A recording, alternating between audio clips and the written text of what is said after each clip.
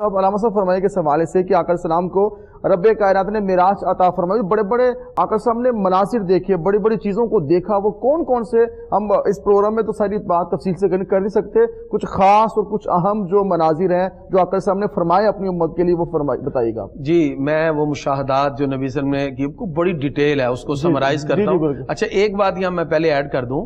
ابھی بات چل رہی تھی کہ خواب میں ہوئی یا فزیکلی۔ جی جی۔ میں صرف ایک بات جملہ میں نے چھیڑی تھی ہاں، میں ایک جملہ کہوں گا جی۔ وکاس صاحب مجھے آپ کہیں کہ رات کو میں خواب میں بیت المقدس گیا۔ مجھے کوئی چمبے کی بات نہیں ٹھیک ہے آپ چلے جائیں خواب میں تو میں بھی یہ دعویٰ میں بھی کر سکتا ہوں۔ کوئی بھی کر سکتا ہے۔ ابو جہل نے جو صبح آگے صدیق اکبر رضی اللہ عنہ سے پوچھا جی۔ کہ اگر کوئی کہے کہ میں رات کو بیت المقدس سے ہو کے صبح آ گیا وہ خواب میں نہیں تھا وہ فزیکلی تھا اور یہ ممکن نہیں تھا۔ تو فوراً آپ نے کہا کہ یہ ممکن نہیں ہے لیکن جب کہا کہ سرکار نے فرمایا تو پکار اٹھے کہ میں ان کی تصدیق کرتا ہوں۔ اس کا مطلب ہے کہ خواب کے اندر اگر یہ خواب میں کوئی بھی دیکھ سکتا ہے اور کسی بھی وقت آدمی دیکھ سکتا ہے تو لہذا اس میں اتنا بڑا ایشو نہیں ہے ایشو نہیں۔ تھا اس لیے یہ فزیکلی ہے اور۔ شان بھی یہی ہے اگر ابراہیم علیہ السلام خود اپنی آنکھ سے دیکھ رہے ہیں۔ وہ کزال کا نوری ابراہیم ملاکوت سماواتی والارض ہاں۔ اللہ فرماتا ہم نے ابراہیم کو زمین و آسمان کی سب چیزیں دکھا دی۔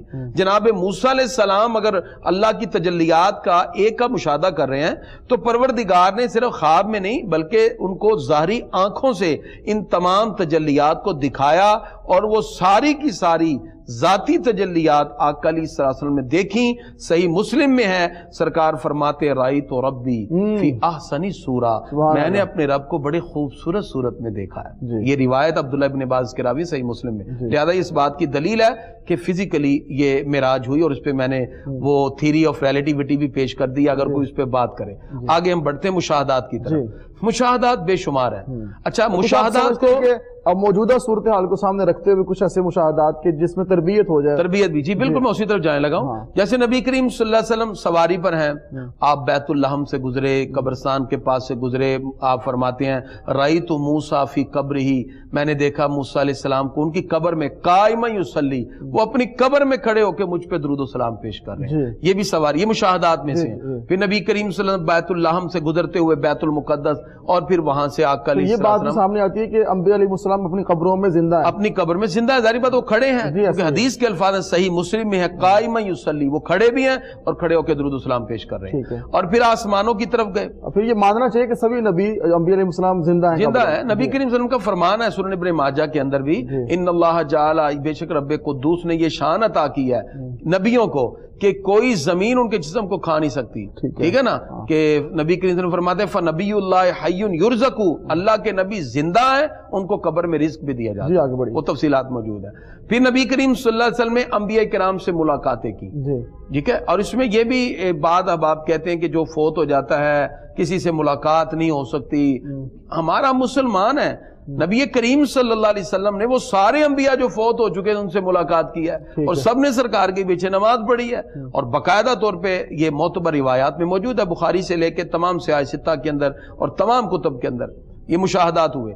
نبی کریم صلی اللہ علیہ وسلم نے جنت و دوزہ کا مشاہدہ بھی کیا۔ جی۔ اس پر محدثی نے سوال اٹھایا۔ آقا علیہ السلام فرماتے ہیں میں نے جہنم میں دیکھا ایک خاتون ہے جو جو بلی کو باندھ کے رکھتی ہے کچھ کھلاتی پلاتی نہیں ہے۔ وہ اس بلی کو باندھنے کی وجہ سے وہ مر گئی اس کو عذاب ہو رہا ہے۔ وہ جہنم میں دیکھا۔ نبی کریم صلی اللہ علیہ وسلم نے فرمایا میں نے بہت سے عورتوں عورتوں کو دیکھا کہ جو با حیا نہ تھیں بے حیائی کی وجہ سے تو وہ بھی عذاب میں مبتلا تھیں۔ جی۔ کچھ دیکھا کہ جو سود خور میں مبتلا تھے ان کے پیٹ مٹکوں کی طرح اور اس میں سانپ دوڑ رہے ہیں۔ وہ ساری کیفیات نبی کریم صلی اللہ علیہ وسلم نے ذکر فرمائی کہ سود خور ہیں یہ خواتین جو نافرمان تھیں اور اس طرح۔ باقاعدہ نبی کریم صلی اللہ علیہ وسلم نے ایک مرتبہ خطاب کرتے ہوئے عورتوں سے بھی کہا کہ میں نے تمہیں جہنم میں زیادہ دیکھا ہے۔ عورتوں نے کیا یار اس کی وجہ فرمایا تم لان تان زیادہ کرتی ہو۔ اچھا۔ عورتوں کی عادت ہوتی ہے نا آپ جتنا مرضی دے دیں۔ تو وہ آخر کہیں گے نہیں جی نہیں مجھے تو ساری زندگی کچھ ملا ہی نہیں۔ جی ایسے وہ بخاری شریف میں بھی حدیث ہے اس کی شرح میں بھی محدثین کہتے ہیں کہ عورت کو جتنا مرضی دے دیں نا شکری کی طرف وہ آ جاتی ہے۔ اور پھر جو آج کل کنڈیشن میں آپ دیکھ رہے ہیں جس پرسپیکٹو میں میں کہنا چاہ رہا ہوں آپ سمجھ گئے ہوں جی، گے ہی۔ کہ آپ جتنا مرضی نواز دیں وہ کہتے ہیں جی مرد نے ہمیں دیا کیا ہے۔ جی۔ اور یہ جو لان تان کا سلسلہ یہ الگ ہے۔ تو اس وجہ سے یعنی نا شکری میں اس کو کہوں گا۔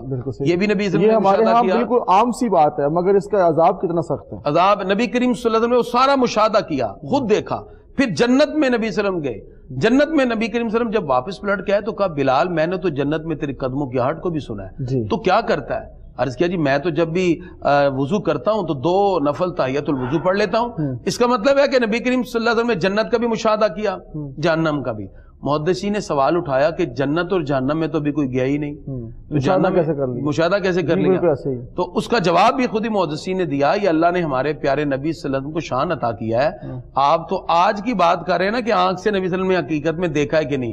جو کام کئی ہزاروں سال بعد ہونے والا ہے اللہ آج بھی اپنے محبوب کو سر کی آنکھوں سے دکھا دیتا ہے۔ یہ پروردگار نے ہمارے پیارے نبی صلی اللہ علیہ وسلم کو شان عطا کیا ہے کہ ابھی تو لوگ قبروں میں ہیں۔ قبر کے بعد پھر اشر ہے پھر پل۔ سرات ہے پھر جنتی جنت میں جہنمی جہنم میں۔ ابھی تو کوئی گیا ہی نہیں۔ پھر دیکھا کس کو؟ وہ اللہ نے اپنے محبوب کو شان عطا کیا ہے کہ جو کام ابھی ہونا ہے جو ابھی ہوا نہیں وہ سارے نبی کریم صلی اللہ علیہ وسلم مشاہدات دیکھے پھر جہنم کی وہ کیفیات کو آ کے ذکر کیا پھر صحابہ کرام کے ساتھ آقا علیہ والسلام آپ دیدہ ہوئے آپ کے رخسار مبارک پر آنسو آئے اور جہنم کی ان کیفیات کو ذکر کرتے ہوئے صحابہ کرام کے سامنے تذکرہ ہوا۔ پھر صحابہ کرام پر خوف خدا کی کیفیات تاری ہوئیں۔ صدیق اکبر جیسے صحابی پکار اٹھے چڑیا سے کہہ کے اے چڑیا تو کتنی خوش قسمت ہے۔ قیامت میں ابو بکر کا حساب ہوگا تیرا نہیں ہوگا۔ عثمان غنی قبر پہ کھڑے ہوتے ہیں تو آنکھوں سے آنسو بہ رہے ہیں اور ان کی ریش مبارک کس طرح تر ہے۔ حضرت فاروق اعظم رضی اللہ تعالیٰ عنہ کی آنکھوں میں آنسو ہیں۔ عدل کا نظام قائم کیا بائیس لاکھ مربع میل پر۔ پھر بھی کہتے ہیں کہ پروردگار ہو سکتا ہے کہ کسی رعایا کے کسی عوام کے کسی بندے کو محق نہ دے سکا ہوں یا اللہ جتنی میرے میں طاقت تھی میں نے نظام عدل قائم کیا مجھے معاف کر۔ یہ ساری کیفیات وہ خوف خدا کی۔ حضرت مولا کائنات تراہم رکان سجدہ۔ کثرت سے سجود فرمایا رب سے ملاقات کرتا ہوں۔ اور جب بھی میں کچھ سجدہ کرتا ہوں تو اللہ رب العزت کی انوار و تجلیات کا مشاہدہ ہے۔ فرمایا جب میرا دل کرے میرا رب مجھ سے باتیں کرے تو قرآن پڑھتا ہوں۔ جب دل کرے کہ میں اپنے رب سے باتیں کروں تو نماز پڑھتا ہوں۔ تو یہ کیفیات صحابہ کرام کے پھر اقوال سے جھلکتی نظر آتی ہیں۔ تو اصل میں امت کو یہ ساری بات بتانے کا مقصد ڈرانا نہیں ہے۔ اس اللہ کی رحمت بے شمار